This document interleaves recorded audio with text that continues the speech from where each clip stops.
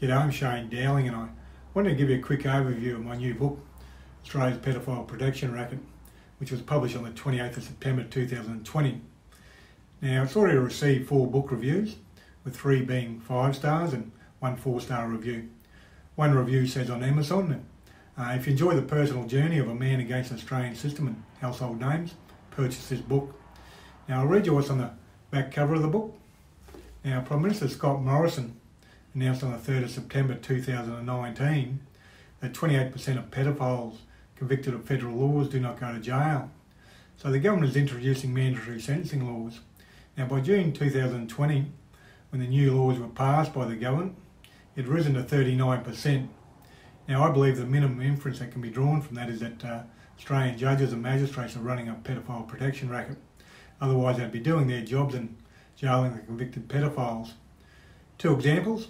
Well, firstly, Judge John North gave a convicted pedophile who abused two young girls a suspended sentence due to the pedophile suffering high cholesterol, sleeping problems, and having had no sex education.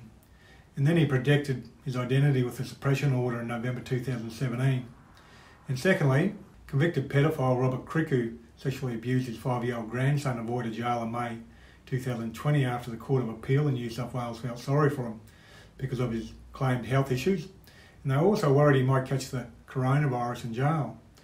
Now, the book follows journalist Shane Dowling, which is me, who specialises in judicial and government corruption, as he cuts too close with his reporting by naming 15 judges, two registrars, and one magistrate as either known pedophiles or suspected pedophiles in an email sent to all the judges of the Supreme Court of New South Wales and relevant authorities. The documented evidence shows Justice Tom Bathurst abusing his position, ordering court staff to stitch Shane Dowling up for two jail sentences and uh, trying for a third now. But they still can't stop Shane Dowling exercising his right to political communication and free speech, which is a real danger to the likes of Bathurst and Co. Now, in the same email, Shane Dowling also raised a $2.2 million mafia bribe to the New South Wales judge reported by the ABC and Fairfax Media in 2015, which Justice Davies confirmed was true in a discussion with Shane Dowling in the Supreme Court on the 30th of November 2015. Shane Dowling reported at the time. Justice David Davies said the bribe took place 30 or 40 years ago in a clear attempt to downplay it as old news. I responded with words to the effect, it didn't happen that long ago as one of the judges only recently retired and there are other judges still on the bench.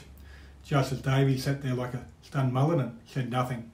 Now you can purchase a book on websites like Amazon starting from $44 and also other websites like Booktopia, Book Depository, Angus and Robertson, Fishpond and others. Thank you for your time.